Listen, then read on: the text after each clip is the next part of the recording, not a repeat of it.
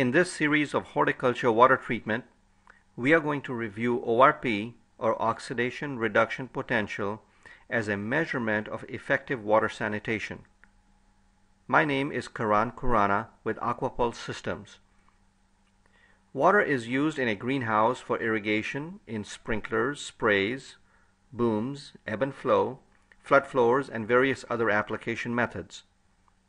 Water source may be municipal or well, or it may be from a higher risk surface water source such as a pond, lake, reservoir, or river, or it may be recycled water. Water may contain pathogens such as algae, fungus, Phytophthora, Pythium, and other root rot organisms. We want to disinfect and sanitize the water in order to prevent cross-contamination, to reduce microbial load on the foliar surfaces, and on the roots to prevent disease.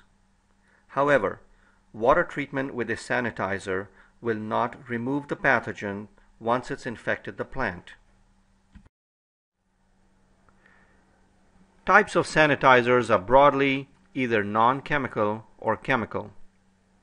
Chemical sanitizers may be either an oxidizer such as ozone, peroxide, peracetic acid, hydrogen peroxide, chlorine dioxide, or an oxidizer that needs an acid to adjust the pH and to activate it, such as chlorine.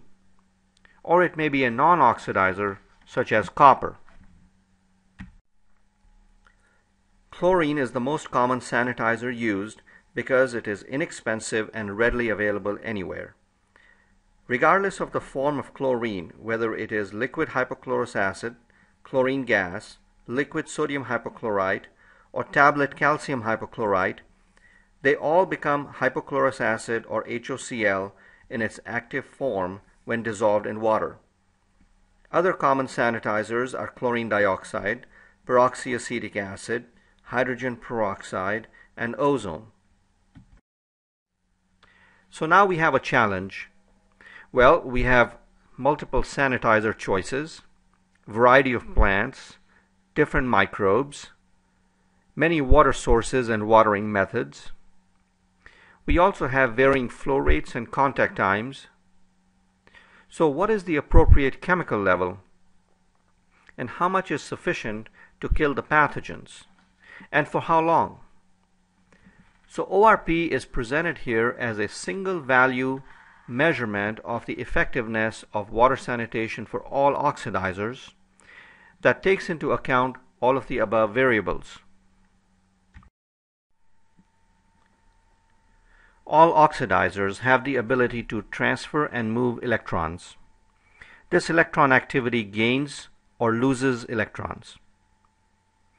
Those that lose electrons are oxidized and those that gain electron are reduced. The electron balance that exists is called ORP or oxidation reduction potential, also called redox potential, and is measured in millivolts.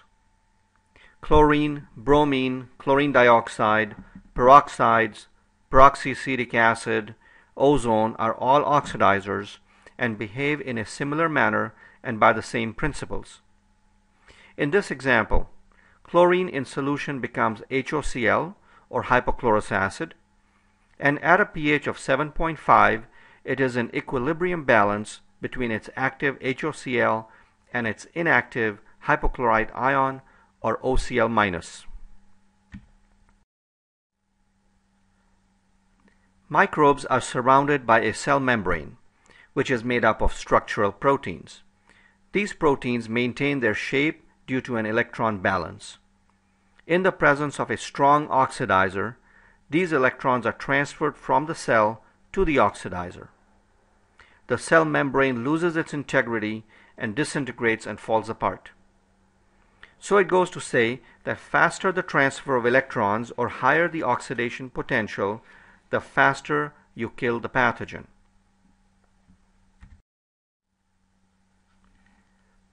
There is a tug of war for these electrons between the oxidizer and the cell. In this example of E. coli, at an ORP of 450 millivolts, it will take a long time before it will be killed. At 500 millivolts, it takes an hour of contact time. At 550 millivolts, it takes almost two minutes. At 600 millivolts, it is 10 seconds, and at 650 millivolts, it's instant or on contact kill. Some sanitizers, such as chlorine, bromine, and iodine, are pH dependent. In this example, you can see in the yellow graph for chlorine, its activity is great at pH of 6, but is very low at pH of 9 or 10. Bromine follows a similar pattern. Chlorine dioxide, peroxides, peroxyacetic acid, and ozone are not pH dependent. When you put chlorine in the water, that is the total chlorine, some of it will react and bind with organic matter, dirt, debris, plant material, and is lost for disinfection. This is called combined chlorine. What is left over is free chlorine that exists in two forms. The active hypochlorous acid that does all the oxidation and produces ORP, and the inactive hypochlorite ion. The two change in proportion depending on the pH. At a pH of 6.5, you have 95% hypochlorous and 5% hypochlorite. Whereas at a pH of 8, you have only 20% active hypochlorous. If you put 3 parts per million of chlorine in the water and the pH is 8, your ORP may be only 500 millivolts, and that is not enough to disinfect. Now by adding a little acid, you change the pH to 6.5, you create a lot more hypochlorous acid, and the ORP may go up to 700 millivolts for the same 3 parts per million. You have not changed the amount of chlorine, but simply changed its activity. So you may not know if you have enough disinfection by simply knowing how much chlorine parts per million you have unless you measure the ORP.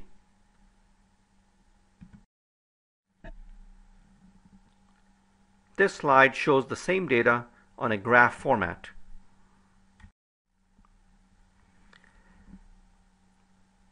In a study done by Dr. Trevor Suslow at UC Davis, you can see that at a chlorine level of a half a part per million, you have 620 millivolts of ORP with slow kill of E. coli, Salmonella, and total coliform. At 1 part per million, even though the pH went up, you have over 650 millivolts of ORP and got excellent kill. At 2 parts per million of chlorine, the pH went up further, so the ORP came down to 489 millivolts, and the pathogens were not killed.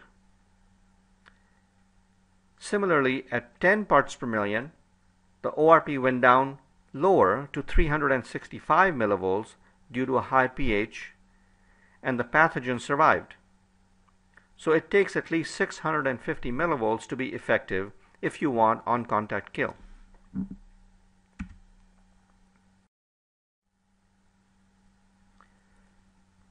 This is a study that was done on nursery runoff water shown over time that as ORP increases there is a reduction in fungus.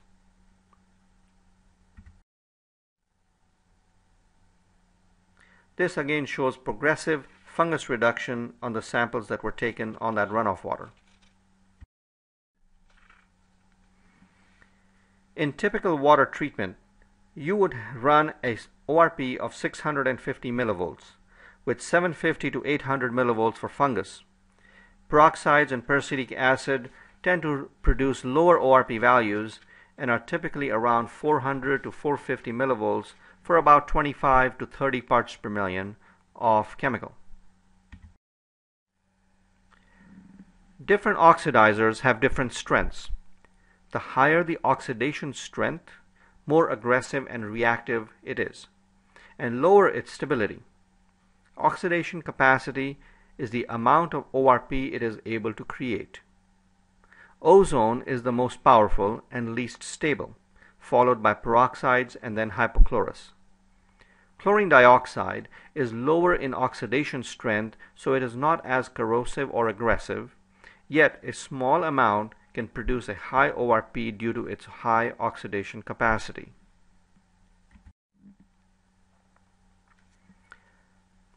A water system may be easily automated for disinfection. A single pass water line injects chemical on a flow proportional basis with a proportional injection pump. A downstream inline ORP sensor may be used for treatment verification and data recording. In a tank system, an ORP controller with an inline sensor can maintain the ORP level by automatically injecting the oxidizer to maintain the ORP on demand and adjusts itself to changes in demand from the water source or recycled water. A typical automation system will have continuous monitoring, control, data recording.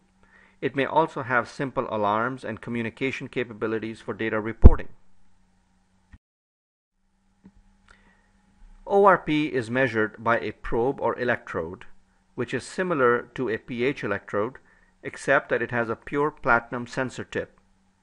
It may be mounted in line or in tank and needs about once a month cleaning and calibration.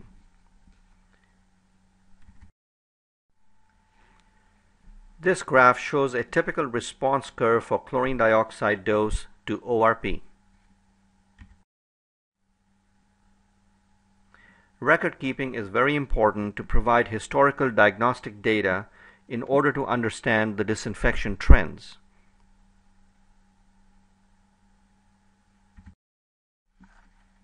Similarly, pH trends help us understand our water system better. Data records may be opened in an Excel type spreadsheet with tables, charts, and graphs. It's important also to understand dates and times so we have good diagnostic information. With any inline automated system, it's always good to have a secondary validation method to confirm if your system is working efficiently. These can be simple test strips, digital colorimeter, a portable test meter for ORP, or a more sophisticated ORP and pH meter.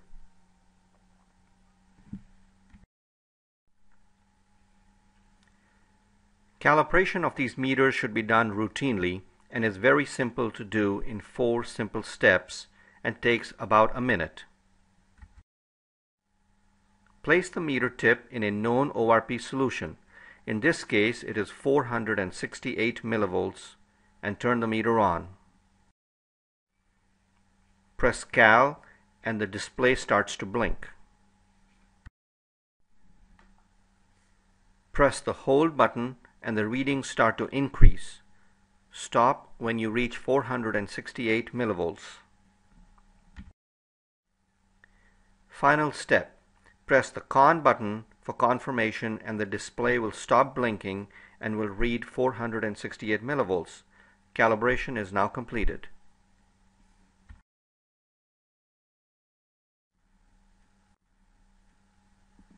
This is a short video of the steps we discussed for ORP calibration in the simple meter.